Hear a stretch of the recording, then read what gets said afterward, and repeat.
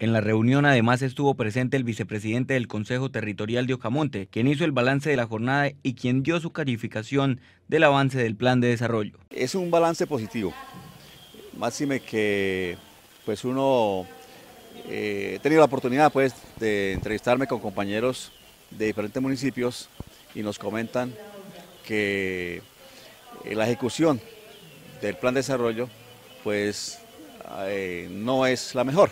En este caso, pues vemos con números que eh, la ejecución del plan de desarrollo a la fecha está en un 74%, quiere decir que lo que resta, pues eh, seis meses todavía le queda para que pueda cumplir a cabalidad. En materia de vivienda, que hace un año yo tuve que, en mi informe, referirme a él porque estaba bastante quedado.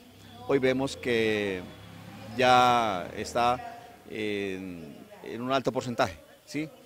Y en materia de salud también, que son temas de vital importancia.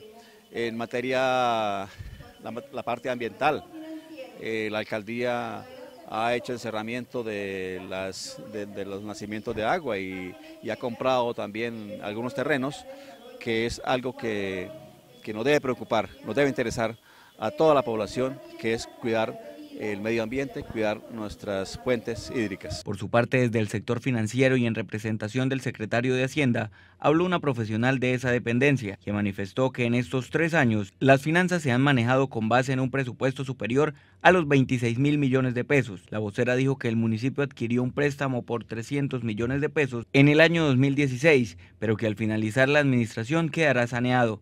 Sobre los 26 mil millones, explicó. Recursos que son utilizados en la inversión social, en cada uno de los sectores, en sus gastos de, funcionamiento y de así llegar el cumplimiento de su plan de desarrollo 2016-2019. Ocamonte es un municipio pequeño, eh, son aproximadamente 750 predios, de los cuales eh, la cifra más representativa y el ingreso más representativo que tiene es el impuesto predial.